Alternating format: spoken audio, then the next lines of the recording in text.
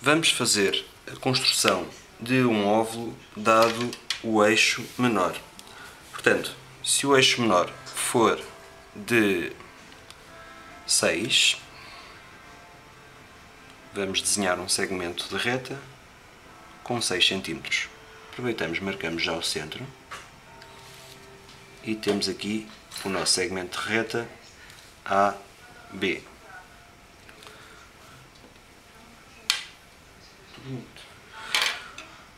Pelo meio do segmento de reta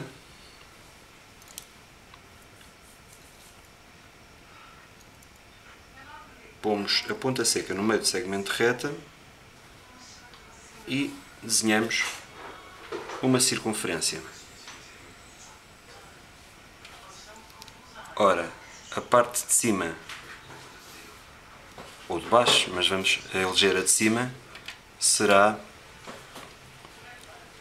será já a parte de cima do óvulo. Agora, vamos desenhar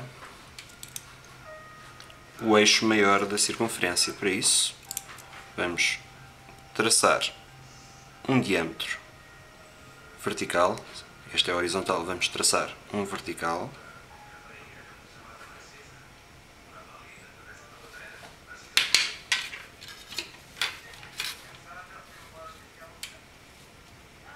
e vamos por ele fazer passar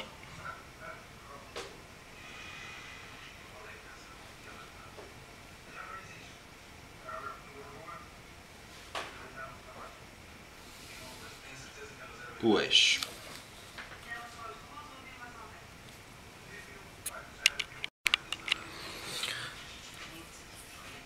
Agora, depois de ter feito o eixo vertical, o que nós vamos fazer é por ele, aqui pelo ponto A, B, vamos chamar aqui o ponto C, vamos fazer passar pelo ponto C uma reta vinda de B e uma reta vinda de A. Agora, o que fazemos é pegar no compasso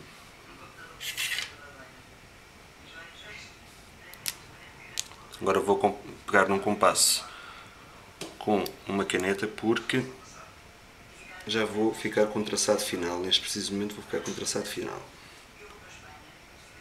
E como sabem o traçado final é sempre mais carregado que o auxiliar. Vou abrir até de B até A e vou traçar um arco de círculo até bater na reta que vem de B. E vou fazer o mesmo abrindo de A a B e traçar um arco de círculo até C. Até C não, até B. Agora vamos a C. C.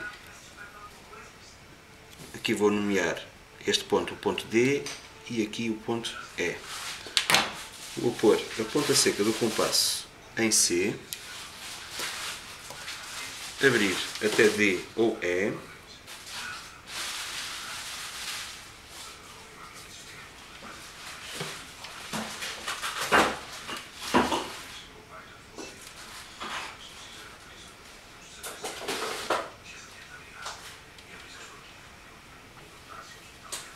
E desenhei a parte de baixo do óvulo.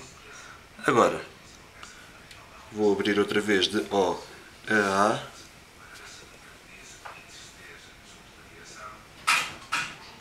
para tornar evidente a parte de cima do óvulo. E cá está um óvulo feito dada, dado o eixo menor.